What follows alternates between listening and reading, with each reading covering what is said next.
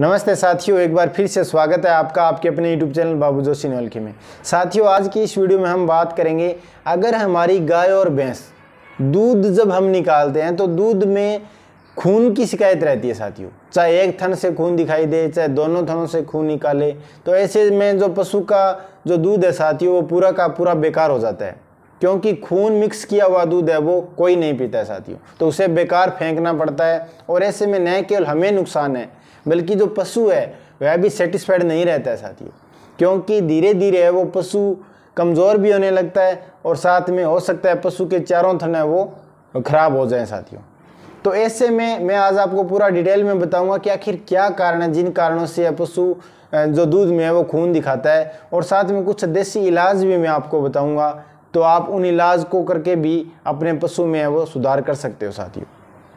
तो जो साथियों, पशु का जो अंडर होता है जो लेक्टिफेयर्स जो सेल्स होती है पशु की, वह लेक्टिफेयर सेल्स है, वो लेक्टिफेयर्स टिश्यू का निर्माण करती है साथियों। और लेक्टिफेयर्स टिश्यू है, वो दूध का निर्माण करता है। दूध का निर्माण कैसे करता है पशु? जो भी हम पोषक तत्व तो हमारे पशु को खिलाते हैं साथियों, चाहे संतुलित आहार खिलाएँ या जो हरा चारा, सूखा चारा, कुछ भी जो हम खिला रहे हैं, वह खिलाने के दौरान जब पशु पचाता है साथियों तो पशु जो पचाता है उस, जो भोजन को तो उसके बाद उसके खून के माध्यम से जो लेक्टिफेस टिश्यू होता है साथियों, वहाँ पे जो खून की जो कोशिकाएँ होती है साथियों, जो रक्त वाहिनियाँ होती है, उन वाहिनियों के माध्यम से पशु है वो, जो रक्त है वो पहुँचता है साथियों अंडर के अंदर और वहाँ जो लेक्टिफेस टिश्यू होता है, वह दूध का निर्माण करता है।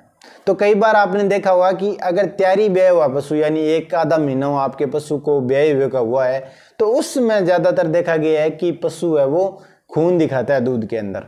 तो इसका जो कारण है मेनली वह होता है साथियों, जो एस्ट्रोजन हार्मोन होता है। यह एस्ट्रोजन हार्मोन क्या होता है? जब अत्यधिक मात्रा में हो जाए, यानी तैयारी ब्याह हुए पशु के अंदर, जो पाउसने की जो कंडीशन है, वह ज़्यादा होती है साथियों। तो एस्ट्रोजन हार्मोन जब स्त्रावित ज़्यादा हो जाए तो जो रक्त की वाहिनियाँ होती है, क्योंकि यह खून के माध्यम से जो लेक्टिफेर्स जो टिश्यू होता है, वहाँ पहुँचता है। तो जब खून की अधिकता हो जाए तो वो जो खून की जो वाहिनियाँ होती है साथियों, उनमें थोड़ा रिसाव हो जाता है खून का और वह रिसाव करके है वो, जब हम दूध निकालते हैं तो उस दूध में आपको मिला हुआ निकलता है नीचे साथियों। तो ये एक तो यह समस्या काफ़ी ज़्यादा रहती है किसान पशुपालकों में। दूसरा जो कारण है साथियों, इसमें दो भाग में आपको बता सकता हूँ। एक तो आंतरिक कारण हो सकते हैं और दूसरा बाहरी कारण। आंतरिक कारण के अंदर पशु के जो थन है साथियों उसके अंदर किसी भी प्रकार का संक्रमण हो सकता है। या कोई परजीवी या पशु के थनों में प्रवेश कर जाए और संक्रमण कर दे, या बैक्टीरियल फंगस है, उसकी वजह से भी जो दूध है उसमें खून आने की संभावना रहती है। और साथ में जो दूध की ग्रंथियाँ होती है, उन ग्रंथियों में किसी भी प्रकार का ट्यूमर हो जाए या कोई फोड़ा फुंसी हो जाए तो इसकी वजह से भी दूध में वो खून आने लगता है। इसके साथ ही पशु के शरीर के अंदर अगर विटामिन सी की कमी है तो इसकी वजह से भी खून है वो, आने लगता है दूध के अंदर साथ अगर पशु के खून के अंदर थ्रोम्बोसाइटोपेनिया नामक एक प्लेटलेट है, साथियों, उसकी अगर कमी हो, उसके बाद भी है वो, पशु के खून आ सकता है दूध के अंदर, साथियों। तो इन कई कारणों को, जो आंतरिक कारण है, जो हमें दिखाई नहीं देते, साथियों वो उस पशु के स्वास्थ्य से जुड़े हुए कारण है। दूसरा जो है साथियों, वह है साथियों, बाहरी कारण यानी जो क्लिनिकल मेस्टाइटिस है, बाहरी कारण है। उनमें अगर आपका पशु है, आप दूध पिलाते हो बच्चे को तो वह बच्चा अगर दांत लगा दे, कोई चोट पहुँचा दे तो इसकी वजह से भी यह कारण बन सकता है साथियों।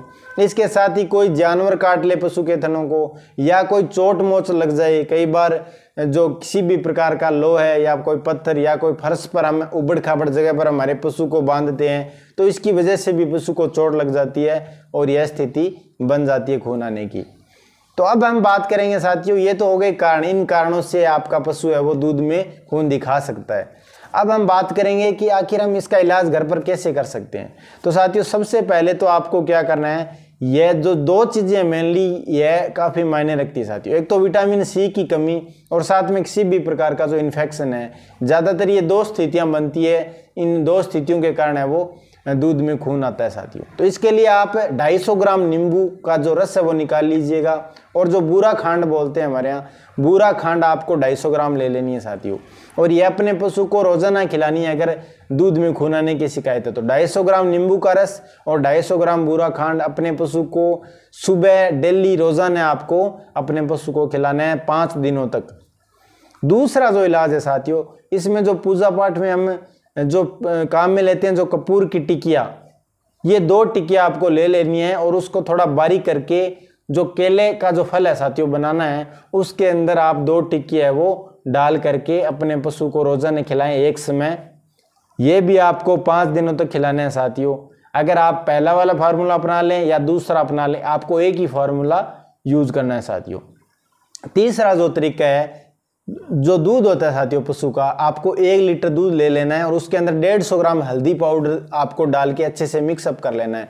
दूध को पहले गर्म करना है, उसके बाद उसमें हल्दी पाउडर डालना है और उसको ठंडा करके अपने पशु को पिला देना है साथियों। ये जो तीन तरीके हैं, इन तीनों की जो टाइमिंग है वो पाँच दिनों की है। पाँच दिनों तक आप यूज़ करना है। तीनों में से एक तरीके को ही आपको इस्तेमाल करना है साथियों। यह काफ़ी इंपॉर्टेंट है। दूध के अंदर खून दिखाई दे रहा है, उससे निजात पा सकते हो। इसके साथ ही आपको पशु को कैल्शियम की डोज भी देनी है साथियों। कैल्शियम की मात्रा है, आपको अपने पशु को 100 ग्राम रोजन है, वो खिलानी है। और इसके साथ ही लीवर टोनिक आपको ज़रूर देना शुरू कर देना है 50 ग्राम रोज़ाना है, बच्चा देने के तकरीबन 20 दिन बाद से आपको शुरू कर देना है। तो इन तमाम बातों से आप समझ गए होंगे कि आखिर पशु है वो दूध के अंदर खून क्यों दिखाता है और हम इसका इलाज कैसे कर सकते हैं। वीडियो अच्छा लगे तो लाइक कर देना और चैनल पर नए हो तो चैनल को सब्सक्राइब भी कर लेना।